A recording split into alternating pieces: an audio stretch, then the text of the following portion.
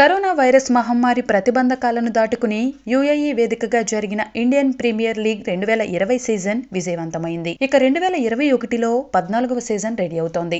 IPL రెండు వేల ఇరవై ఒకటి ఏప్రిల్ పది తర్వాత ప్రారంభమయ్యే అవకాశాలు కనిపిస్తున్నాయి.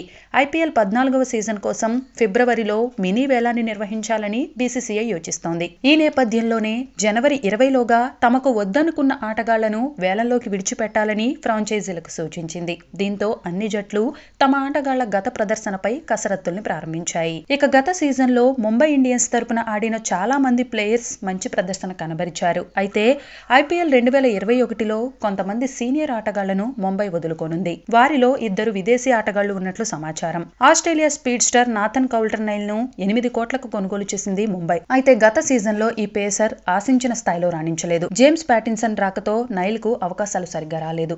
ఆడిన ఏడు మ్యాచుల్లో కేవలం ఐదు వికెట్లు మాత్రమే తీశాడు. అయితే శ్రీలంక స్టార్ లసిత్ మలింగ ముంబైకి తిరిగి వచ్చే అవకాశం ఉంది. దీంతో వచ్చే సీజన్కు ముంబై నాథన్ కౌల్టర్ నైల్ను వదులుకోనుంది. ఇక రెండు వేల ఇరవై ఐపీఎల్ వేలంలో ఆస్ట్రేలియా బ్యాట్స్మెన్ క్రిస్లిన్ని కూడా ముంబై ఇండియన్స్ రెండు కోట్లకు కొనుగోలు చేసింది. కానీ అతను ఒక్క మ్యాచ్ కూడా ఆడలేదు.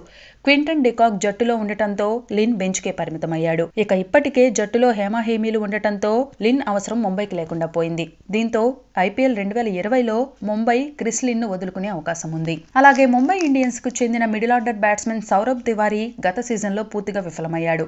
అయితే తివారీ స్థానంలో వచ్చిన ఇషాంత్ కిషన్ అద్భుతంగా రాణించాడు.